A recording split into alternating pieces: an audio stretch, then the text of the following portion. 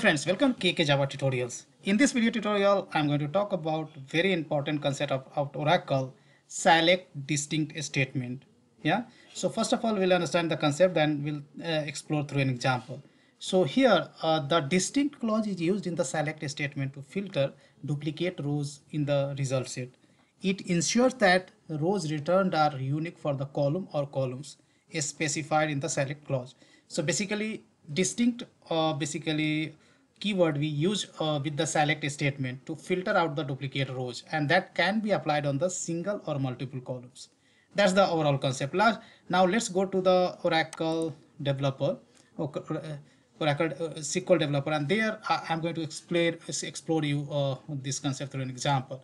Let's say i'm taking uh, for this demo emp table. If you look into the emp table right then you have a 14 records and if you look at the job then every employee has certain job right?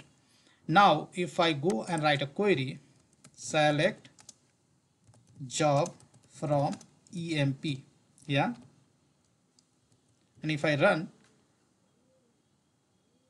sorry.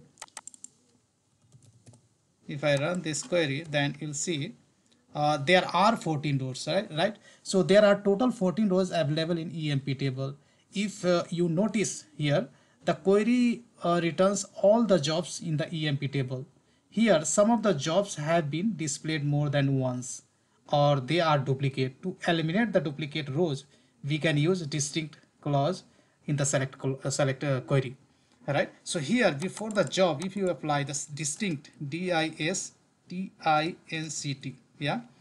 And if i run then this will return only the distinct value. Duplicate value will be uh, eliminated. So here you can see only distinct value have been written. So there are five distinct value. So when you write distinct keyword, then a few few things just I want to show you when you write distinct column a single column then here you can specify the bracket optionally right if you are applying distinct on single column then optionally you can write the bracket but if you have more than one column you cannot specify bracket if I run then this will run as earlier right now now let's see how we can apply distinct query on multiple columns. For that I'm going to make uh, a demo on let's say department department table.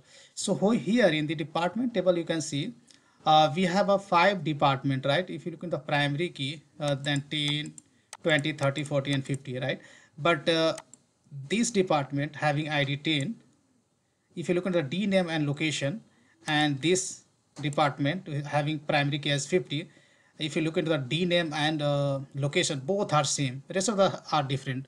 So if i do perform the select on the, this department if i do select uh, let's say d name comma loc from department then this is going to return a department spelling is wrong department. What happened? If I run uh, I don't why this guy is okay from clause is wrong so if I run this uh, query then this is gonna return us uh, five uh, rows but uh, here I want to remove this duplicate row so of course you can apply distinct keyword before this. But here you cannot put bracket because you have more than one column. If I run then this is going to eliminate the duplicate row and here you can see now it is returning only uh, basically unique uh, records. So basically when you write distinct keyword before more than one column so basically that combines all the columns and try to find values are unique or not. Based on the that uh, basically that apply the filtering criteria that only picks up the uh, basically distinct uh, rows. Now let's say in employee table uh, if uh, you look into the emp table again. Emp table if you look at the mgr right? So everywhere you see the value except one null value is there. So let's apply uh, distinct on employees uh, uh, sorry this column mgr column right? There is one null value. So I would say select okay distinct mgr from emp yeah?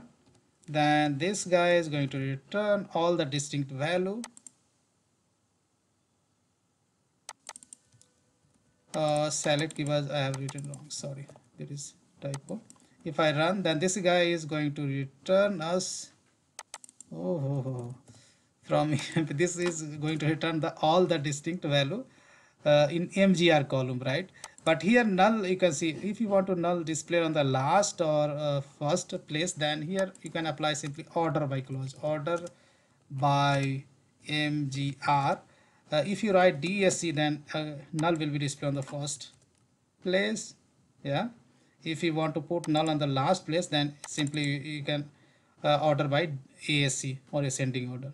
So i think all the concept related to the distinct keyword i have covered in this video tutorial guys so i hope you enjoy learning this video guys. Big thank you and see you there in the next video tutorial